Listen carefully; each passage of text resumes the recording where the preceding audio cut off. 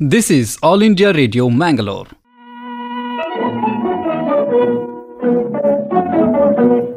Yuva Vani. Dear young friends, welcome to today's English Yuva Vani program. In today's program, Resistance and Post-War Films, a glimpse by Joshi Divya.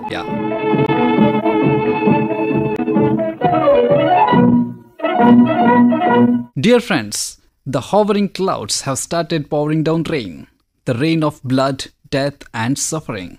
It is quite ironical that they call it war theatre. Yes, now Eastern Europe is transformed into a ghastly stage for dance, dance of death, to the horrendous tunes of war machines. The world has reacted in utter disbelief. The defining moment for the future is how the intelligentsia reacts to the present. But it is quite disappointing to see how the present intelligentsia is reacting to the crisis. It is maliciously silent, hopelessly biased, and cunningly polarized. We common people watch the mayhem on big and small screen, feeling nothing, letting nothing to sink in. Did the intelligentsia react differently in the past? That is an interesting question. Here is our good friend Joshi Divya reviewing some of the classic movies produced in Europe after the World War II. She has done a commendable job in analyzing the canvas of absurdity, futility, and meaninglessness that went into the creation of such classic films. Now, over to Joshi Divya with her talk Resistance and Post War Films A Glimpse. Soon after the fall of the fascist regime of Mussolini, filmmakers found a way to express their concerns over real issues causing the moral and social destruction of the post Second World War Italy. They wanted to emphasize on the transformation taking place in the Italian psyche after the war. With a minimal budget, films were produced, and the fact that the films had non professional actors and were shot at real locations and not in the sets or studios heightened the intensity of the watching experience as it brought the films much closer to real contemporary Italy, which was wrought in economic, social, and political turmoil. There was a desperate struggle for survival as the dire consequences of the Second World War, unemployment, and poverty had affected the post Second World War Italy. The directors of this school depicted vibrant accounts of the hitherto unknown facets of Italian society. The ultimate focus was on the socialist ideology, in which the idea of equal share of wealth to all those belonging to different parts of the society became the mantra. Therefore, to highlight this central idea, the filmmakers of the Italian neorealist cinema attempted to bring the movie as close to reality as possible. For that reason, casting non professional actors, avoiding intensely composed background music, and shooting the footages in real location became very necessary. Roberto Rossellini is hailed as the pioneer of neorealist cinema. In his critically acclaimed film Rome, Open City, 1945, he had made use of natural lights, long shots, and unprofessional actors. The fact that the film was made as soon as the Second World War was over allowed Rossellini to shoot the film in the streets of Rome that were bombed and desolated. Since the movie is shot in actual war affected locations, it achieved a documentary realism kind of style, which presented very realistic commentary on the impact of the Second World War on Rome. The film takes place in Rome in the last few years of the Second World War. Rossellini's intention is to depict the idea of resistance against the enormous forces of evil. He achieves this through a metaphor of ordinary people from the city of Rome uniting against the Nazi regime. The film also focuses on actual problems such as hunger, poverty, and unemployment created after the fascist occupation. His next film, Paisan, 1947, depicts the struggles of the Italians while the Allied forces arrived as the German powers were still dominating in Italy. The film is divided into six stories, each giving a social commentary on the chronicles of Italy during the final years of the war. The final installment among the post war trilogy, Germany, the year 0, 1947, was released in the year 1947. In this film, Rossellini's attention shifted from post war Italy to desolated Berlin after the end of the Second World War. The film does not shy away from depicting the tragic lifestyles of unemployed men who worked for the Nazis before the war ended. Rossellini also uses the apocalypse image as a metaphor to illustrate the impact of the Second World War on mankind. The fatal collision of the Nazi ideology on an innocent young mind is profoundly depicted in the film. Rossellini, who is hailed as the father of the neo realist movement, believed that realism is an artistic form of truth. Therefore, his films reflect the political turmoil of the then war torn era. Rossellini influenced great many filmmakers to make use of the film as a vehicle of artistic expression to respond to the events that affect the social as well as political conditions.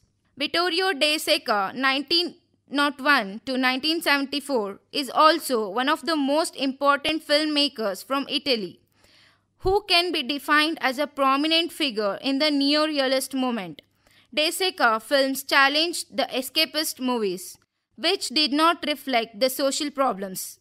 His groundbreaking film, The Bicycle Thieves, 1948, is regarded as the best work that comes under neorealism. In the film Bicycle Thieves, the story is narrated through the sufferings of the protagonist, Antonio Ricci, who belongs to the working class. When his bicycle is stolen in the Rome of Second World War period, the authorities never come to his aid. After being terribly frustrated with his state of helplessness and despair, he steals a bicycle from the street. But the sheer irony of society is revealed when Antonio Ricci is caught in the act of the theft. The Bicycle Thieves focuses on the roots of crime the film implicates the idea that when social authorities fail to give justice to the working class men, the cry for justice itself takes the form of criminal behavior. The greatness of the bicycle thieves lies in illustrating how the socially marginalized voices lose faith in the authority and begin to indulge in antisocial activities when the system does not respond to their problems.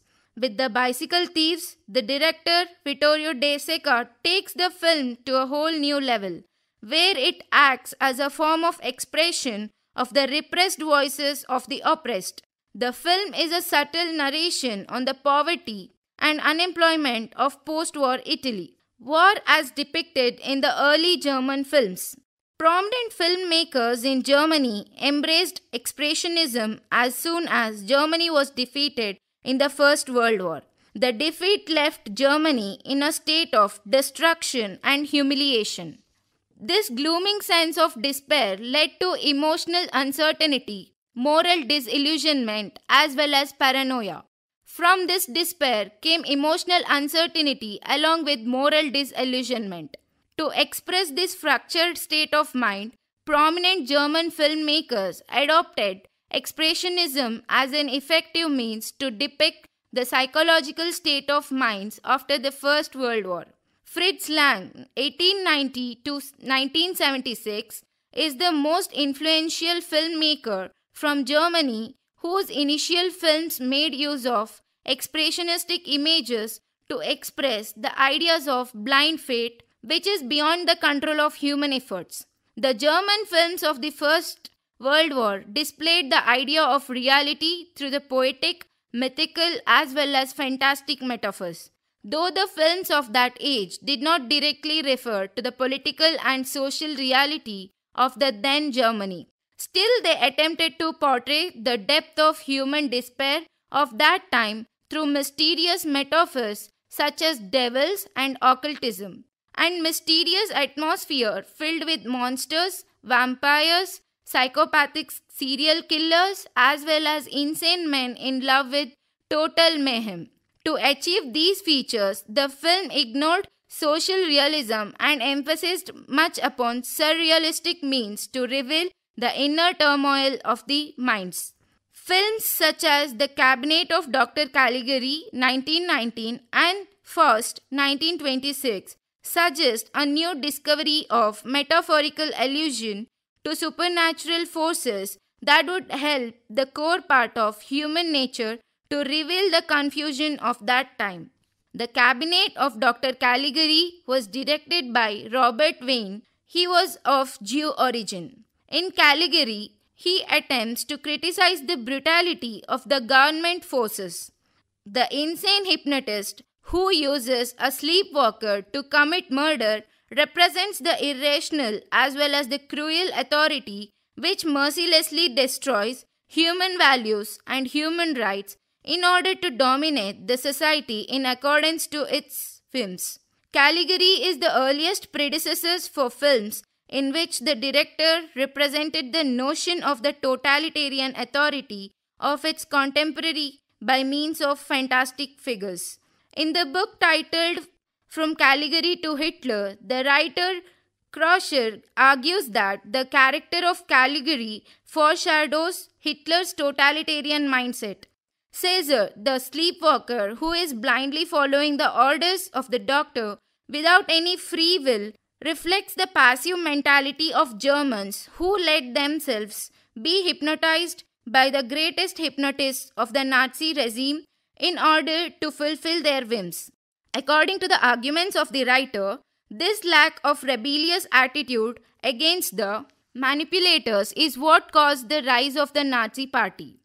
After being hypnotized by Caligari, Caesar shows his unconditional obedience to his master, as he kills at the will of Caligari without any second thought. The character of Caesar prefigures the manipulated minds that without any self will went on the paths of other numerous soldiers who murdered millions during the Second World War while following the orders of their superiors.